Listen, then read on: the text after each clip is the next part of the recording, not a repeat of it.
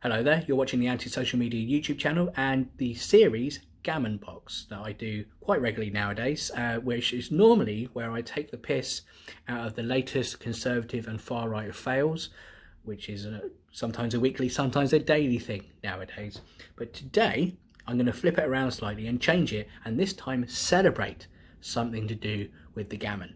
Now, before we go on, let's just say that people recently have been saying that gammon is a very racist word to use against the right wing. Uh, first of all, it's not racist. It is normally a white person saying that to another white person, but the white person saying that to the other white person has noticed that the other white person has a very red face because they seem to be very, very angry and very easily offended and very snowflakey about everything. The things that they project onto other people is the stuff they do themselves, and thus it gives them a lovely gammony glow about their face. And it's just a description of how angry they look, rather than anything to do with their race.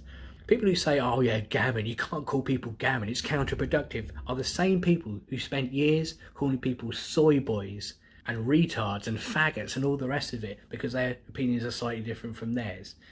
It's just a one it's just one other way for conservative people to say, please, please stop criticizing me. I cannot take your criticism. I can't. And by the way, you're the real snowflakes. Now, flag shaggers is a term used by the left to describe people who are overly patriotic, and more often than not, those people are right leaning. The kind of people who have a Twitter handle such as Tim17897 covered in Union Jacks as well. Now, recently the government announced that every government building must fly the Union flag, that's a British flag, on every single establishment in the UK. And a lot of conservative commentators and MPs have been doing news interviews with absolutely giant Union Jacks behind them. And as a result, people have been taking the piss out of them, including two BBC News presenters who noticed this giant flag behind one Conservative and noticed it out loud and then stifled a little laugh and ended up being, quote unquote, you guessed it, racist and so forth. And weirdly, there was two people involved in this, a white man and a brown woman, and only one of them was focused on in a very Meghan Markle style way of how she was the worst person alive. It's weird, isn't it, how people who accuse others of being racist towards them because the word gammon is used tend to be a bit, um, what's the word? starts with an R, ends with an acist. Ah, oh, it's on the tip of my tongue. And now, for balance, here's a right wing view of the BBC News scandal from a guy who calls himself Voice of Reason, but also goes by the name Free Speech UK. His argument is the lady from BBC News shouldn't have any free speech. Enjoy. Switch off. We don't want to watch Naga Munchetty wiping her nose with a box of tissues while sneering at our Union flag. What's most amazing about this video I'm about to play you is just the utter contempt for us and what we stand for. The complete arrogance of a network that think that it's okay to sneer at a politician and the fact that he has a flag behind him as if this is some kind of BNP rally. Watch this clip of Naga. Robert Jenrick, uh, thank you. I think your uh, flag is not up to standard size uh, government interview uh, measurements. I think it's just a little bit small, but uh, that's your department, really.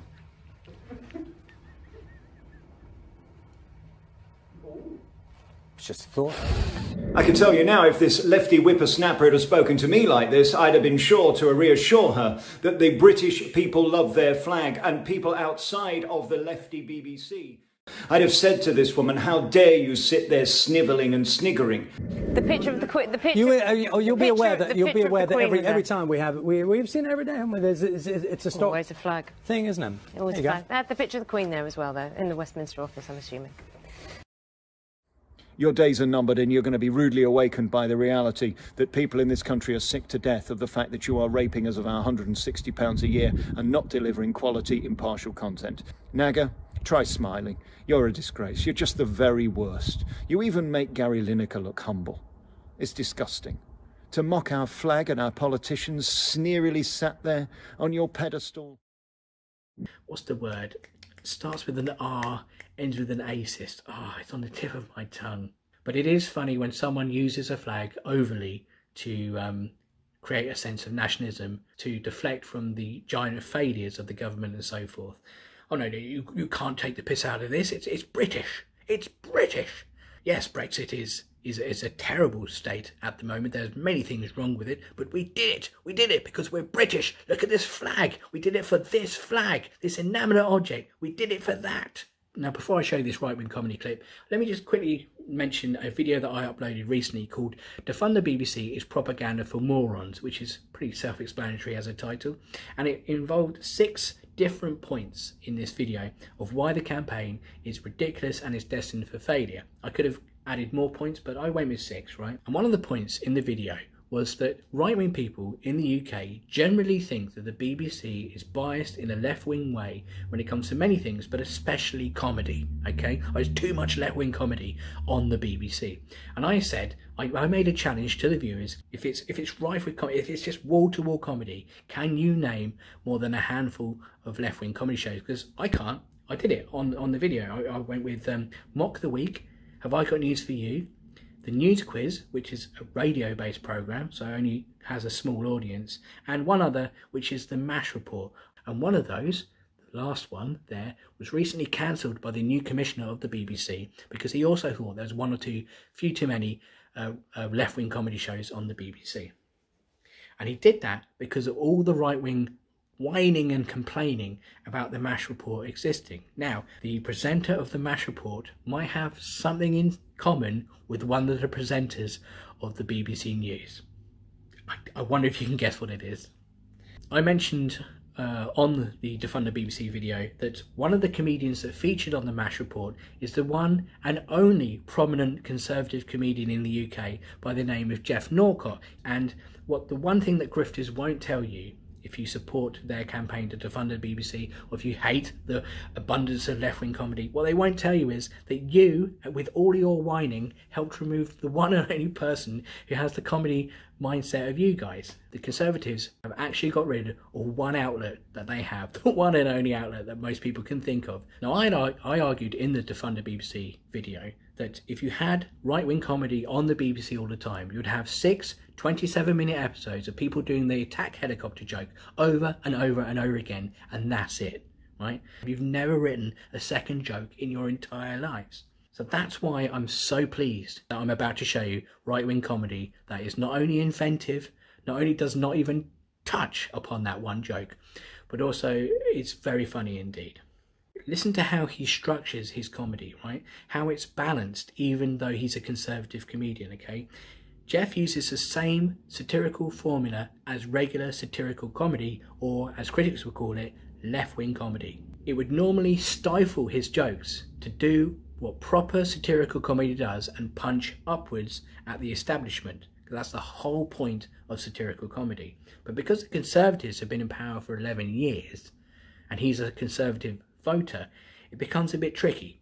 I don't know if you've ever spotted that kind of thing, but he manages to do just that. Plus, he manages to take the piss out of the left wing people without being over the top, without being overly gammony or anything like that. And that is the key, potentially, to producing good right wing comedy, is having self awareness and self deprecation and combining them together. And just to push my point further about how to fund the BBC is a ridiculous campaign, Geoff Norcott once again was appearing on the BBC doing this comedy routine.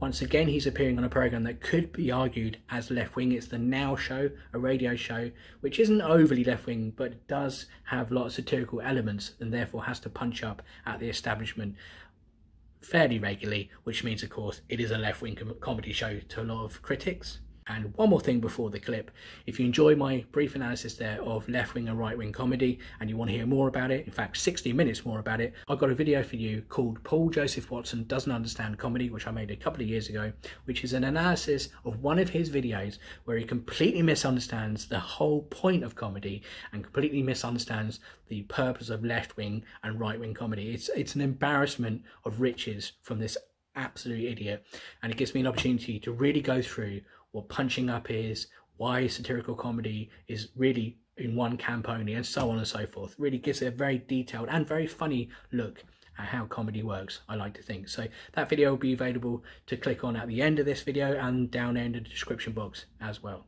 But for now, we're going to leave you with Geoff Norcott from The Now Show from early April 2021, talking about flag shaggers and various other things. ladies and gentlemen, here's a very rare example of right wing, exceptional right wing comedy. See you soon. And now, will you please welcome back to the Now Show, Geoff Norcott. Hello, I'm Geoff Norcott, and I am a flag shagger. Apparently. Now, if you don't waste your lives on social media trying to keep up with modern buzzwords, let me explain. This is a new name for the artists formerly known as Gammons, UKippers, or Middle Englanders. On one level, it suggests the kind of politicians far too keen to distract you with images of the Union Jack, which is the political equivalent of deploying kitten videos. And applied to regular people, it implies that you're the wrong kind of patriotic and way too fond of our beloved national flag. And when I say too fond, I don't mean fond in that sense, though flag shagging does sound like the kind of thing you'd see on a titillating Channel 4 documentary. Shortly after a romantic story about a woman who married a bridge. so, cards on the table, I am very patriotic. I love this country. I try to keep it rational, but will confess that I cried three times during Darkest Hour and once during Dunkirk. I can't believe it. The sacrifice, the bravery. A Christopher Nolan film where the plot actually makes sense. Many on the left are particularly exercised about what they see to be performative patriotism, especially when it comes from the Tories, who have flags on show in every interview on government buildings and are probably wearing them as pants. Critics think it's base and jingoistic, but most of all, I get the sense the real reason they don't like it is because it is effective. Recent YouGov polling suggests that 60% of people view the flag and those who associate with it publicly in a more positive light. And as we know from recent experience, doing things that make your party more electable hasn't always been a priority from the wing of the Labour Party, who thought the best people to investigate the Salisbury poisonings were the poisoners. Keir Starmer has faced internal party criticism for tentatively trying to get on board with this new patriotism. However, Starmer has also faced criticism from the hard left for condemning police vans being set on fire, writing articles for newspapers people actually read, and seeming like someone who actually wants to be Prime Minister. and more to the point, a Labour leader trying to associate with British patriotism is actually nothing new. Back in 2007, Gordon Brown was extolling the virtues of the Union Jack and went as far as suggesting that school children should pledge allegiance to it. Now, even I might draw the line there. As a former teacher, it was hard enough getting kids to do their ties up and stop calling me Mr. Knobchops. the Union Jack is a British design classic, like the mini letterboxes and those flexible silicone toilet brushes. Check them out, by the way. Look, it's Radio 4. You might not like my comedy, but you will thank me for that recommendation. The pleasing visual of the Union Jack is why so many bands, artists and fashionistas have deployed it. But here's where you get the hypocrisy. When Rita Ora, Liam Gallagher or Kate Moss drape themselves in the flag, that's the right kind of patriotic. However, when the right are patriotic, well, the right are doing it wrong. The flag being flown by certain people makes them uncomfortable. So basically, if you're a working class white bloke, the only time you can wear the flag is if you're accepted a Brit Award. now, my positive relationship with the flag and general patriotism comes from my love of the country now. I love what Britain is, not just what it was. I love its dynamism, its diversity, the way we came together when that awful American woman cooked tea in the microwave. However, those that fear overt patriotism might argue that I only see the flag positively because, as a straight white male growing up in Britain, this country has afforded me certain privileges. Honestly, I don't see why our national flag flying over government buildings is such a problem. It happens in plenty of other countries, including hotbeds of toxic nationalism like Denmark, and I can't see them dusting off the longboats anytime soon. However, I guess the point is this seems like a new thing, so people need reassurance that this isn't the thin end of the fascist wedge, and also that someone putting a Union Jack coat on their pug isn't a racist dog whistle. so this is my view. I am patriotic. I do think the modern left have a blind spot when it comes to patriotism. However, I don't think the Tories should be putting flags in place of a decent policy. I don't think there needs to be a Union Jack on every government building all the time. However, I do think that if there are, it doesn't necessarily mean we're in the last days of the Weimar Republic plunging headlong into a Nazi dystopia. And I don't think taking the mickey out of our national flag is automatically un-British. If anything, sarcastically mocking something people genuinely love is about as British as it gets. Finally, I do think the Union Jack is quite simply a really good looking flag. And like anything else blessed with good looks, if you've got it, flaunt it. Thank you very much. That's Geoff Norcott, the artist formerly known as Mr. knobchops. Well, with a...